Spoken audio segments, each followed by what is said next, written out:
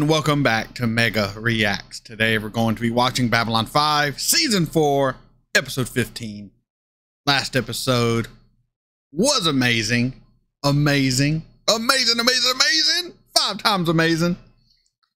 So we had Delenn on Minbar and she's gonna fight the head of the warrior caste, or she's gonna she's gonna basically have the religious caste give up to the warrior caste. But then she pulls out this ancient tradition of surviving the light of the star, of the sun, of whatever the hell the light's of.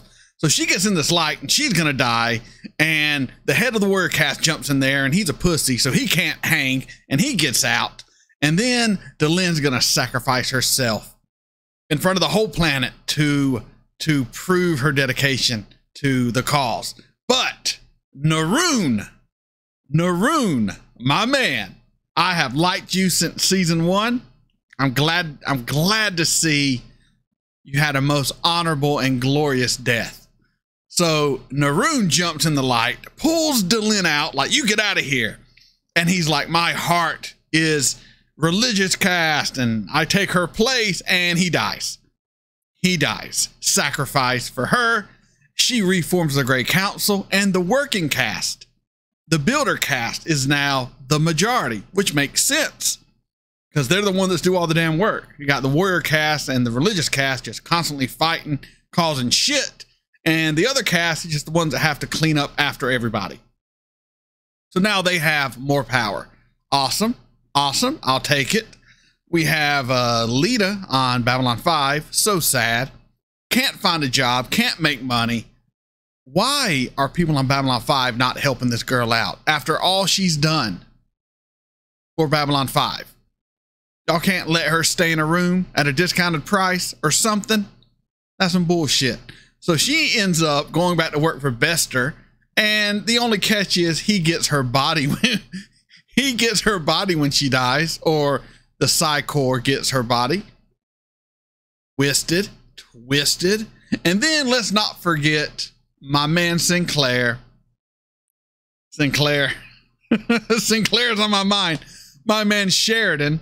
My man Sheridan. Uh, I just watched earlier today uh Jeff from Babylon 5 for the first time's reaction to War Without End Part 2, and then I did a little edit. So Sinclair is on my mind. Is on my mind. But uh, Sheridan so Sheridan is done with Earth's shit. All right, he's like, we're going to war.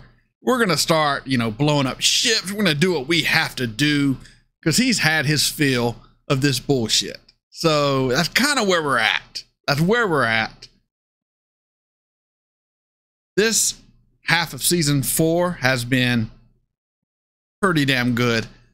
One episode kind of lame, but for the most part, all of season four has been great, but it feels like we are amping up pretty damn hard right now. So let's just get into it. But before we do, come on this journey with me. Like, comment, share, subscribe. Patreon link in the description below. If this is mega, let's get into it. Captain's personal log. Personal log. 2nd, 2261. War. Enough is enough. There it is. The war room. Let's go.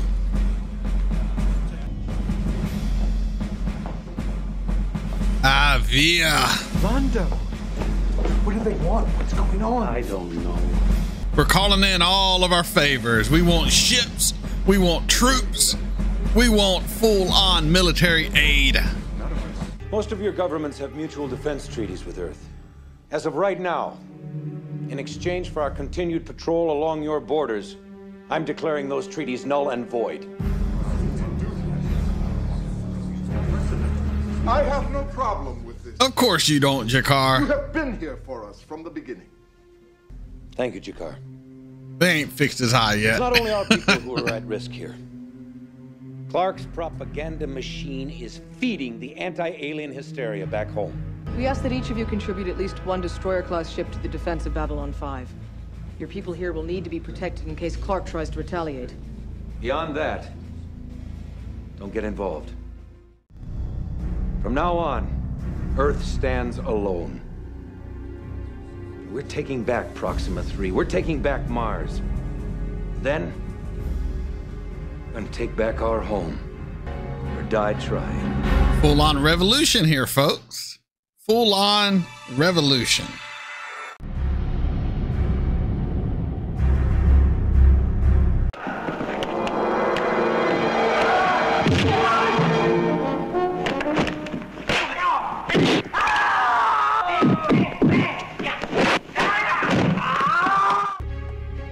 Where you going, Marcus? What's up? What's up? What's up?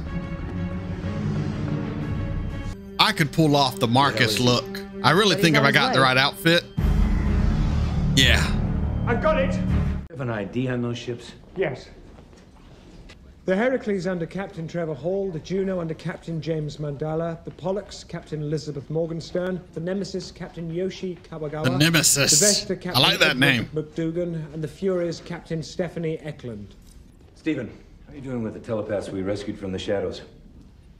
Well, can wake them for brief periods, but they're still under the influence of the mind control devices.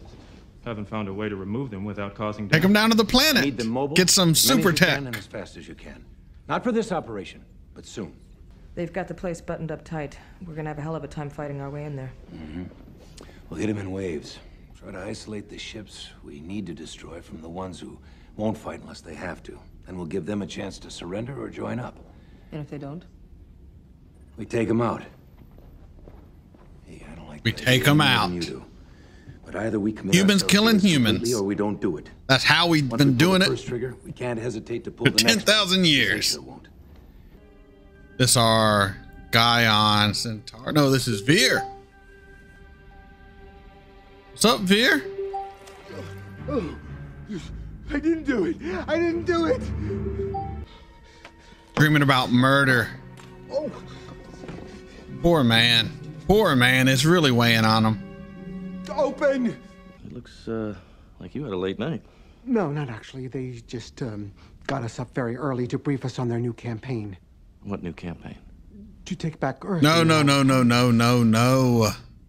I imagine you'll want to sign on again. Not with Sheridan. Does it your homeworld matter to you? Of course it matters. So you're not going to fight for your world. Nope. Of course I'm gonna fight. I'm gonna fight in my own way. You just tell Londo I That can't. mind control is later. strong.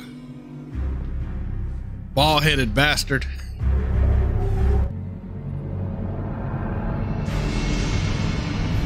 That was a pretty good transition. Pretty, pretty good. 17 to Heracles. Londo, G'Kar. Make them wait. Make them wait.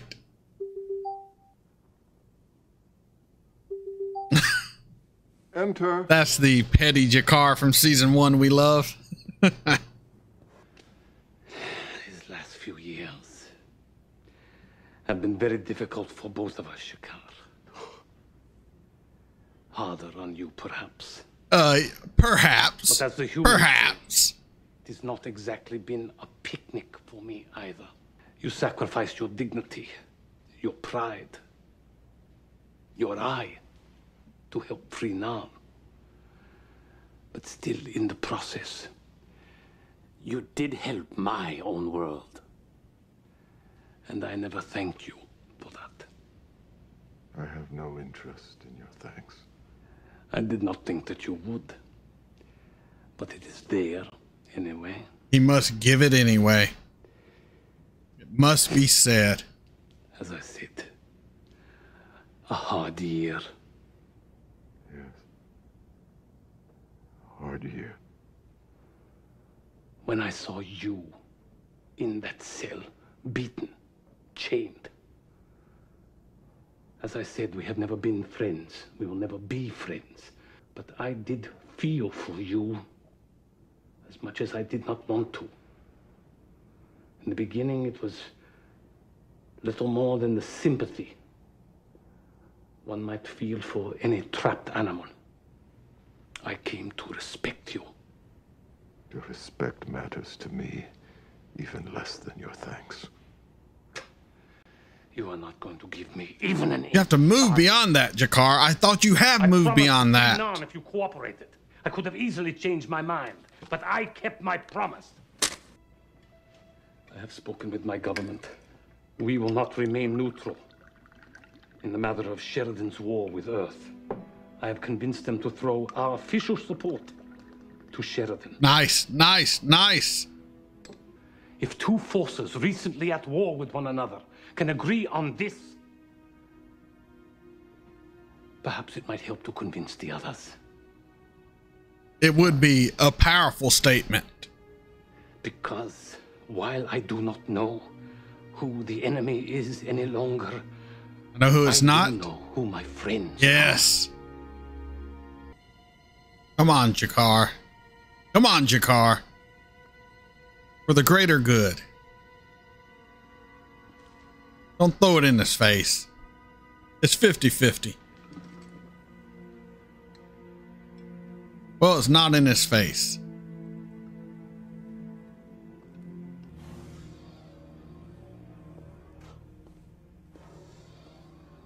G'Kar. G'Kar, I thought you moved beyond your pettiness. I'm I'm disappointed. I'm disappointed. We've received the information we've been waiting for.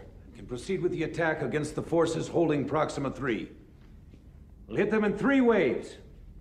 Pull their forces apart, and surround them with superior Now, I've never seen Star Trek the original series. I know, I know. I need to watch it. Don't give me shit.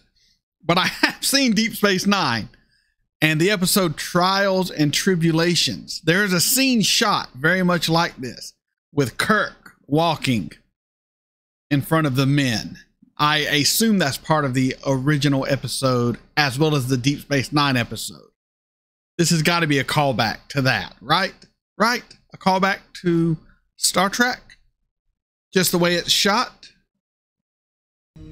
Assault base to Unit 1. Take position.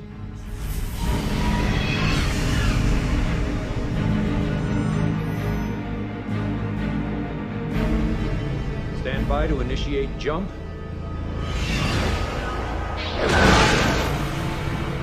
Jump.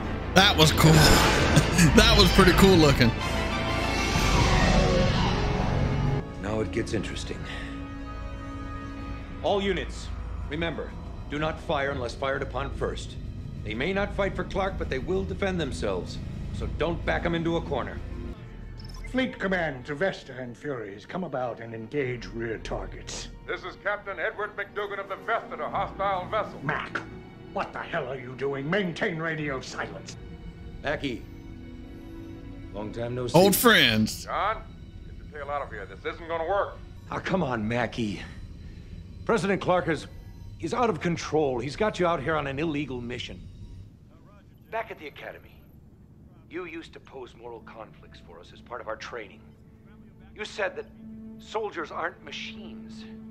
They have to think. They have to decide if a if an order is moral or not. But what does your conscience tell you? Open fire.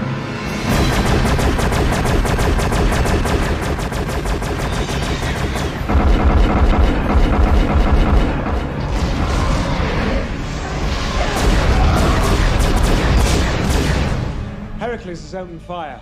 Other ships moving to support. Fighters launching. All forces, engage any hostile target. Fire at will. I repeat, fire at will.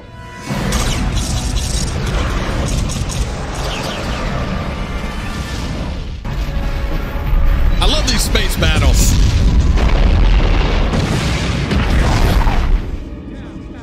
You will engage enemy ships at once. Do you copy? Engage enemy Yes, sir. And he once. engages your ship because you're the enemy. Negative, Fleet Command. The Vesta will not engage in support of illegal orders. This is a court-martial offense, Mackie. You understand that? Commander Philby, under the authority of Earth Force Command, I'm hereby promoting you to captain Oh, ordering he's gonna murk you, dude. You will bring the Vesta into the fight. Do you copy, Commander?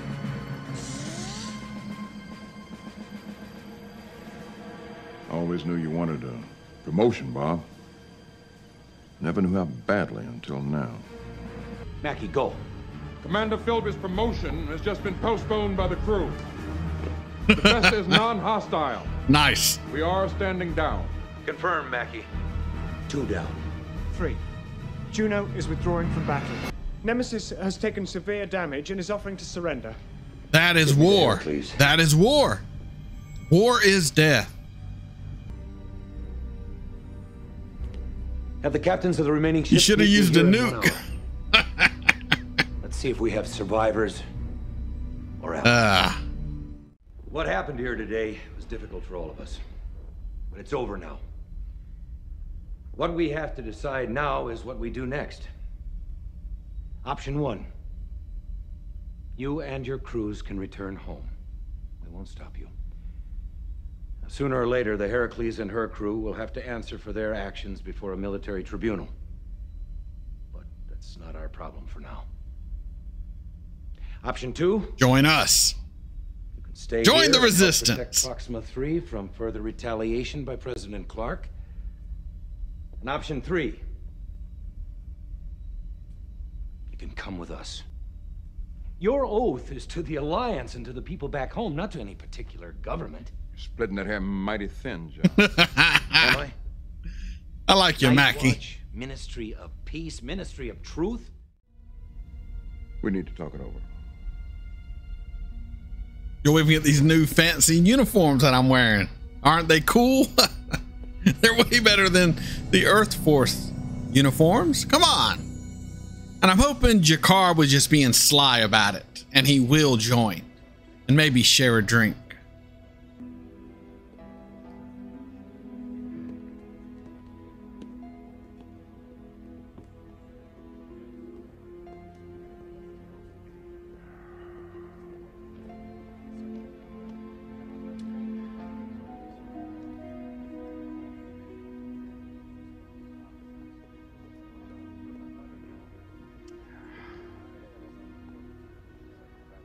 Issue the joint statement. I will sign my name, but not on the same page. You understand that? Yes, sir. Yes, sir. Yes, of course. Different page. I'll even let you sign first. The others have decided. Commander Levitt is going to retire from the field. He's going to take the Heracles to Beta 9 for repairs. Gawa wants to sign on with you. And so do I. This is Commander Susan Ivanova, bringing you the voice of the Resistance. Today, elite forces dispatched from Babylon 5 engaged a destroyer group stationed at Proxima 3. Both sides endured heavy losses. Many of the destroyers enforcing the blockade have now joined forces with our ships. The campaign to retake Earth has begun. As a result, we send this plea to all cruisers and carrier groups that have chosen to stand down rather than execute the illegal orders of President Clark. Join us. Destination? Mars. What are you doing, Garibaldi? Nope. I got some people in high places taking care of things. If you say so. When you coming back? I'm not. I'm not. Garibaldi's out until they pull them back in. Ah, In a related news, Centauri and Narn governments issued a joint statement today recognizing the legitimacy of the liberation of Proxima and throwing their support behind the new campaign. I'll be right back with you. That was Babylon 5, Season 4, Episode 15. A great episode, amazing space battles. We had ships blowing up, we had all sorts of just space craziness, and I loved every minute of it. The CG looks really, really good. Now, this is a remastered version, maybe that's why, but it really didn't feel dated at all. Like I was completely, completely just engulfed in the war. That is that the word engulfed? I don't know. It was awesome though. It was awesome. And we got some ships to join our side. Some of the people are retiring. It's a hot mess on the Earth Force side. People want to follow orders, some people don't want to follow orders. We have mutinies and and craziness. Speaking of craziness, G'Kar, Londo, uh, they came together to sign some sort of release to say that the Narn and the Centauri are backing are backing Sheridan. Two mortal enemies coming together to support Babylon 5. That says a lot. but G'Kar will not sign the document on the same page as Londo. That was hilarious. But uh, really, what stood out this episode was the space battle. The space battle, so good. I'm probably going to watch just the space battle a couple more times because I love that shit. I love it. And yeah, we're just we're just moseying on along with this plot of Earth being the bad guy and Garibaldi's going to Mars because he's brainwashed, going to go work with his super rich benefactor. And I don't know what's going to happen with him. I'm kind of uh, with the whole Garibaldi thing, to tell you the truth. I am positive, though, whenever everything is laid out, I'm going to love it because JMS is an amazing writer. But as of right now, I'm just, I kind of wish Garibaldi would have just died in the Shadow War and he would be gone because I don't really like the road he's taken, but I do have faith it will all it will all be worth it in the end. And yeah, that's really all I have to say about this episode. Is there anything else? There is not anything else. So hopefully you enjoyed my reaction. If you did, continue to come on the journey with me. Like, comment, share, subscribe. Patreon link in the description below. This is Mega signing off.